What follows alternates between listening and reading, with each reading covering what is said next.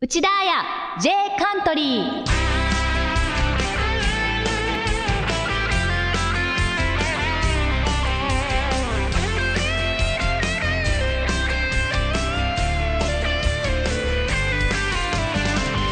皆さんこんにちは。内田彩です。さあ今週も始まりました。内田彩 J カントリーこの番組は私内田彩が楽しいトークと素敵な音楽を KBS 京都から生放送でお届けする30分です。ついに大阪でのワンマンライブを無事終えました。2日前ね日曜日。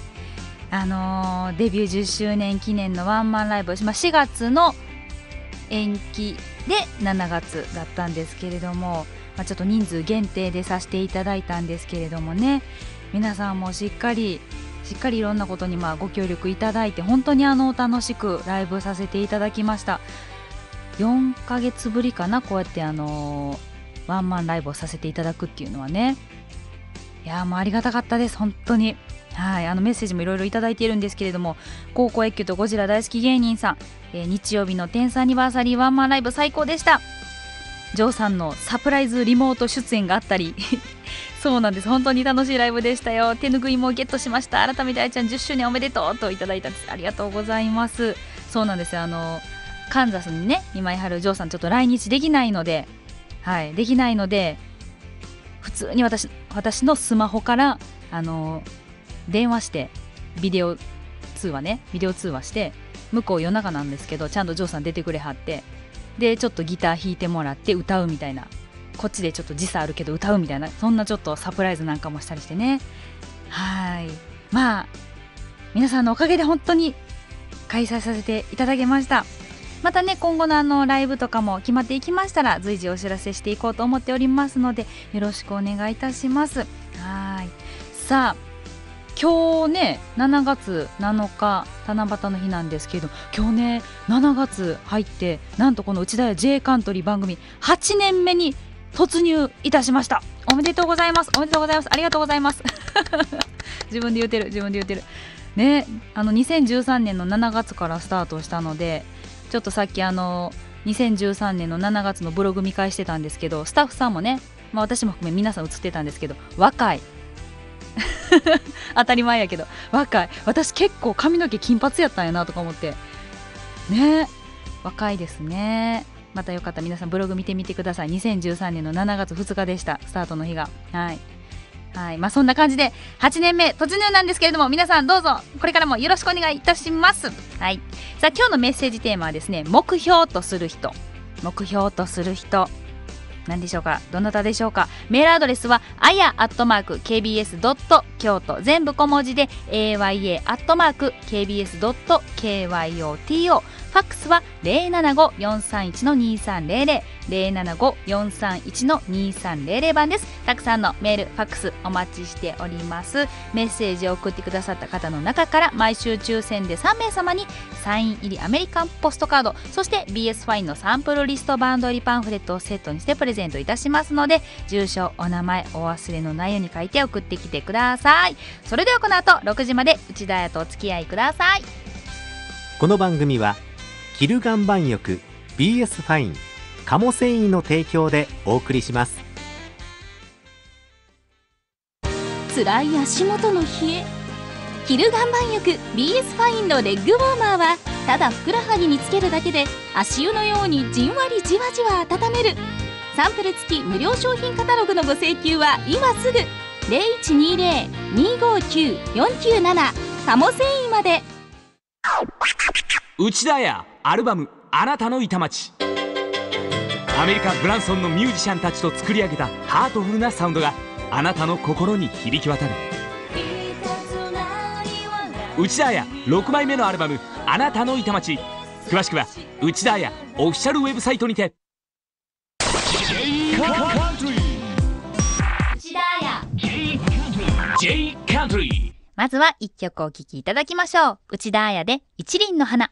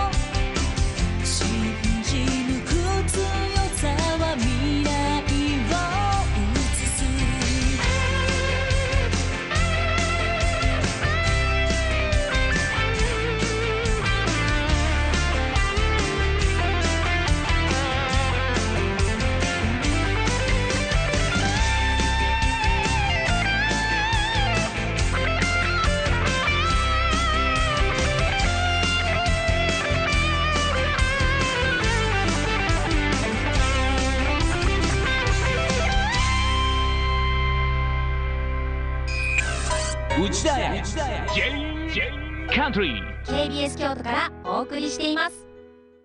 あなたの体を冷え疲れから守るキルガン板浴 BS ファイン春夏のこの新しいカタログから載ってますよね。この新商品 BS ボディタオルというのがありまして、えー実は私これを使わせていただいてるんですけれども皆さんにもこれちょっとぜひおすすめしたいです。今日この方ともお電話がつながっておりますよ、えー BS ファイン鴨繊維株式会社代表取締役の角野光俊さんです。もしもし。こんにちは。よろしくお願いします。よろしくお願いいたします雨そちらいかがですか？今ねもう止んで曇りの状あちょっとパラついてるのかな？今スタジオから見えるか見えないかぐらいの雨ですねでもえー岡山も今日朝方は警報が出てましてねあ、そうなんですねえー小中学校休みになってしまったんですけど、お休みになるぐらいのはい。うーん今はちょっとちょっと小康状態ですねこちらも。そうですね、はい。またちょっと気をつけていかないとダメですね、はい。はーいでどうでしたかね？BS ボディタオル。これ私あのまず肌触りがすごくよくてびっくりしてあの、体をねこう洗う時に、なんていうかナイロン系のねボディタオルちょっと肌に結構ガシガシガシっていうタイプのボディタオルあると思うんですけども、はい。それはやっぱりきつくってあと普通のタオルだと優しすぎてっていうところがあったんですけど、本当にそのいいところを取った中間みたいな感じで すごくなんでしょうなんか気持ちいいんですよね体洗ってて。はい。でさらにこの BS ファインのじんわり温かい感があって、あのなんお風呂の中でさらにこの中まで芯まで温まって気持ちいいみたいなそんな感じでした。あーだから多分ですね、はい、えーそれまあもともとはそのボディタオルを作りたかったんですね。はいはいはいはい。えー体を洗うとそのまあ刺激というかうん温度が高くなると、はい BS ファインの遠赤外線が出やすくなるんですね。あで、あはいえー体をまあこすって洗いますよね、はいにね。その時に摩擦があるから余計に暖かくなるはずなんですよ。で、私も使ってるんですけども、はい。えーっと温度が下がりにくいんです。あーあそっか。確かにそうかもしれません。あのシャワーの時にはい。私あの肩からあの、はい。このタオルをかけてえでシャワーだけで結構ね夏場って済ます時もあると思うんですけど、そういう時でもあのこのタオルを肩からかけてずっとこうシャワー浴びてたら全然その首とか肩のあたりが冷えなくってえそうだと思います。あそういうのもあるんですよね。えだからその本当に一番最初はこれすべて BS ファインで作ってはい。で BS ファインってポリエステル繊維なので、はい。吸水性が全くなかったんですね。なるほど。はいはタい。オルの価値出さなかったんです。はいはいはいはい。はい。本当冗談のような話ですけどね、はい。それで、えー今度はいろいろ試作をしてて、うん、実はそれ3回試作をした後の結果なんです、あそうなんですね。ええだからめちゃめちゃあの水分吸収してくれましたよ。しますはいだからその綿も、えー吸水性の高い特別な綿を使ってるんですあああのはいはいはい。BS ファインをはいそのボーダーに見えますよね、ボーダー柄にね。ね。柄がパッと見た感じでボーダーにそこで、えー綿と BS ファインの出方を調整してるんです。うーんですから今、内田さんが言っていただいたように、はいあのちょうどいい加減っていうのは、はい。適度な刺激もあるし、んうんソフトな優しさもある。うーんまさにでそんな感じでした。逆にきつくゴシゴシやると、はい今度は刺激が勝ってくるんです。はいはいはい。だからご自身で調整をして、やっぱりあのなんか磨いた感がああればいいっていう人も中におられるそうので、ですね。うんでそういう方はゴシゴシやっていただくと、やっぱり刺激があるんですね。はい。でそういうのは嫌っていう方はゆっくりあの洗っていただければソフトな感じ、そうですね。どっちにもオールマイティに使える感覚ありますね。ええでうーんぜひやっていただきたいのは、はい少し厚めのお湯をつけて軽く絞って、はいフェイスタオルとしてはい。お風呂の中でリラックスしていただくと冷めにくいんです。ああああの顔にこうじんわり当ててよくあのなんでしょうエステの時とかもねそうです。やられますよね。はい。あったかいこう、はい。蒸しタオルみたいな感じですよね。でもあれすぐに冷めるんですね。はいはいはいはい。これ実は冷めにくいんです、うーん。そういう使い方もいいですよね、だからあのどうしても昼間日中パソコンとかね、はい、えースマホで目が皆さん特に疲れてますよね。そうですね。でその時に夜のお風呂タイムにやっていただくあと絶対気持ちいい。随分違うと思います。うーん。であの蒸しタオル顔にやることによって毛穴もちょっと開いてね洗顔の時とかにもす。すごくいいですもんね。ええ。あのやっぱり温めることによって巡りも良くなるのでね。はい。あの顔そのもののケアもできると思います。あーいいですねいやでもあのさらに半身浴とか、まあ、はい普通に湯船に浸かられて肩までは入らないけどっていう方にそれこそね、肩にこうかけて湯船に浸かるってこともできますし。えうーん。あとあの給水が私すごくいいなと思って、えっていうのはあのこの時期バスタオルとかね大きめのタオルをお風呂上がりに使うとなかなか乾かないじゃないですか。はい、なのであのこのタオルをお風呂上がる前にこうギュッて絞って体を拭いて水分取ってもらってあとちっちゃいタオルで拭くみたいな感じではい。私やらせていただいてるんですけど、すっごい水分吸ってくれるんで、あとは使った後そのまんまお風呂場の中とかに干しといてまたすぐ乾いて次の日使ってみたいな感じで、えはい、だからあの一番最初のタオルはそれができなかった。大失敗だったんですよね。ですね。でもどうしても作り方なので、はい、えー最初のタオルは、はい、えー一番最初は7年ぐらい前に作ったんですよ。はあ、そんな前に、はい、で諦めてたんだけども、うん。でもやっぱり作りたいと思ってはい、で昨年からずっと試作を繰り返してええ今年の春に発売したんですね、ついに満を持してという感じなんですね。うん。あなかなかできなかったというだけなんですけど。でも多分ね使っていただくと、はい、えー一般的なものとは、うん、あのちょっと違うと思います内田さん言われたように、はい、ポリエステルのものが多いんですけどそれはやっぱり肌に刺激がありすぎるんですね。そうですよね。ちょっとね。それから綿とかオーガニックとかさまざまなものがあるんですが、うん。それはなんかちょっと物足りないと思うんですね、うんうんうんうん。だから適度な感じだと。はいはいそうなんですよ。まさにそんな感じでした。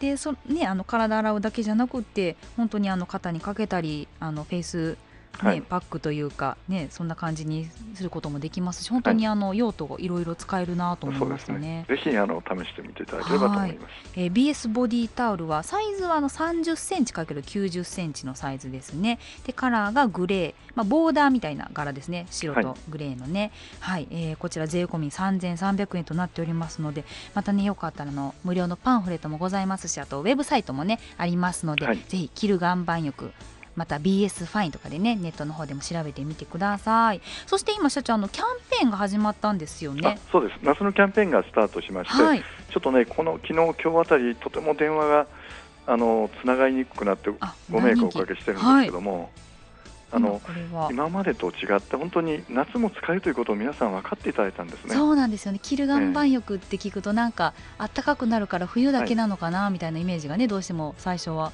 あるかなと思うんですけど夏こそ BS ファインですよね本当に。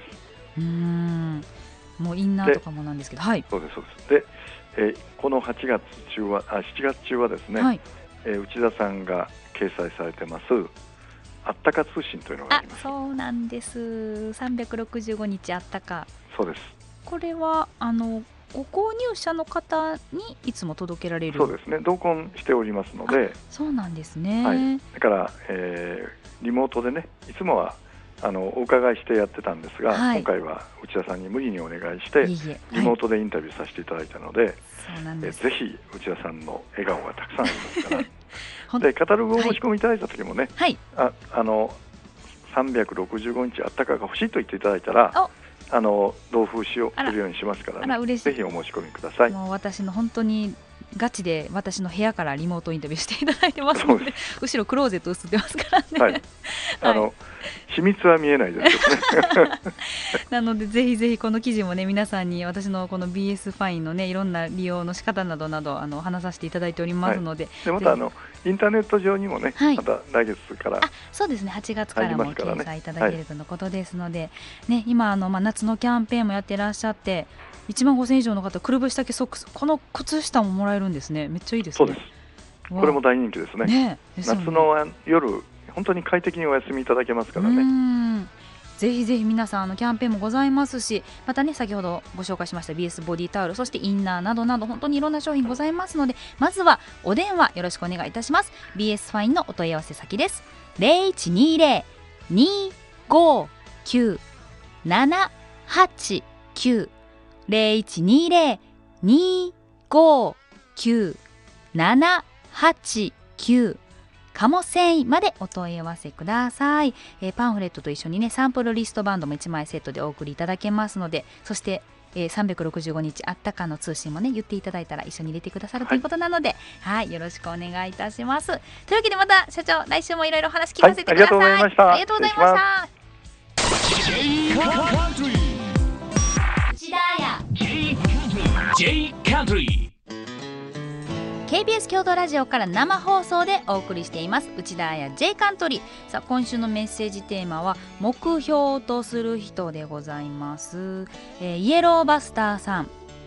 小学校の担任の先生です。幼稚園の先生も憧れでした。いつも優しく接してもらい今の自分が育っていますと。恩師ですね。うん。えヒータンさんは自分らしく生きてる人。お周りに流されずに自分らしさを出して輝いている人を見るとすごく尊敬しちゃいます。あんな人を目標にしています。どの方なんだろう？お近くにねいらっしゃるのかな？三重県のユッキーさん。目標とする人はズバリ明石家さんまさんです。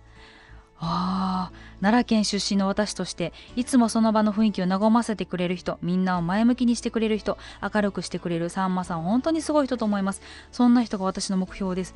そうさんまさんね結構何人か来てるんですよね。あまこっちゃんさんこの方も同年代の明石家さんまさんですと。あ生きているだけで丸儲けというねもう座右の銘。そうそうあれだけ売れているのに昔お世話になったスタッフさんからお願いされてローカルの番組など未だに続けている点などのよく神対応と言われていることなど義理人情に熱い人が目標ですと。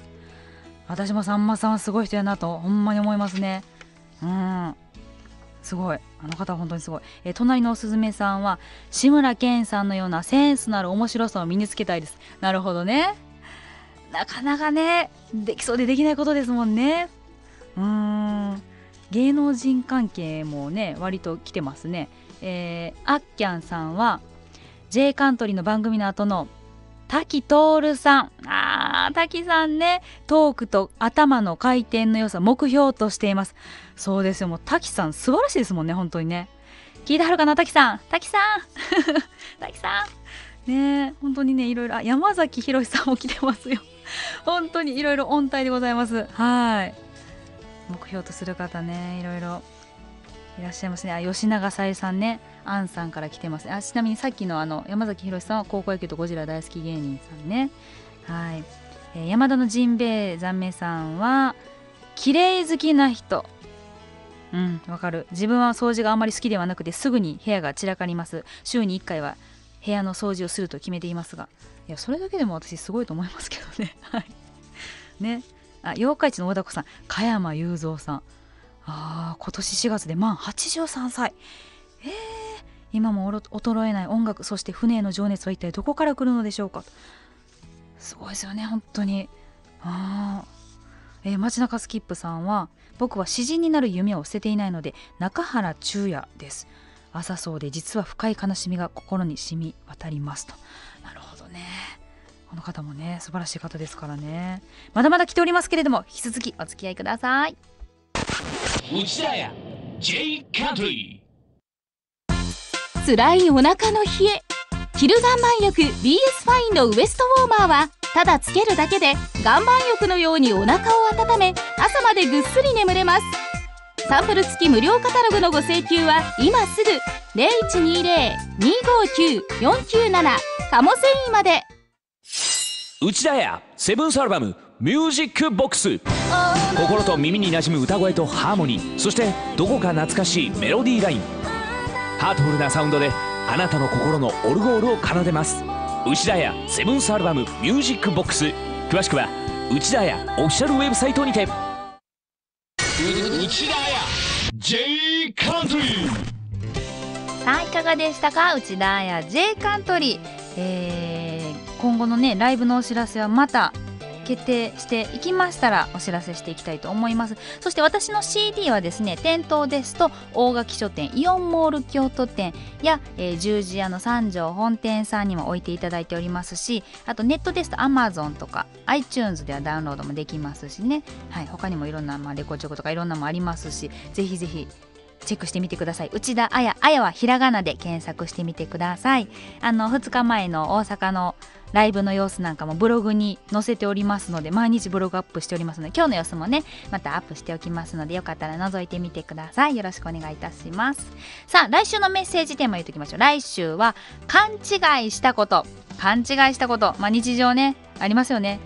勘違いしたこと教えてください、えー、メールアドレスはあやアットマーク KBS ドット京都ファックスは075431の2300また KBS 京都のホームページにリンクされている番組ホームページのお便り送信フォームからもメッセージを送っていただけます。メッセージを送ってくださった方の中から毎週抽選で3名様にサイン入りアメリカンポストカード。そして BS ファインのサンプルリストバンドリパンフレットをセットにしてプレゼントいたしますので住所お名前お忘れのないに書いて送ってきてください。よろしくお願いいたします。さあまだまだいきましょう。目標とする人ね。天野潤さん。アトムのお茶の水博士です。新しいものを作り出すそんなことができたらいいなと思っていました。もうあれですね。どう超えた発明品ですからね。そこら辺はね。アトム。えアトム作ったんって誰ですか？お茶の水博士ですか？やっぱり。ドラえもん作ったんは。21 世紀やから。猫型ロボットやから。もうなんかねそんなん作った人すごいですよね。最近その「バック・トゥ・ザ・フューチャー」見てたからあの毒とかねそんな未来とか過去とかねタイムマシン何の話や？じゃあ目標とする人です。えっとこの方はこの方は徳兵衛丸さんはあ本田技術え本田技研工業の創設者本田宗一郎さんです。いろんなものをね作ってやっぱこの発明される方ってすごいですよね。ゼロから何かを作り出す方ってね。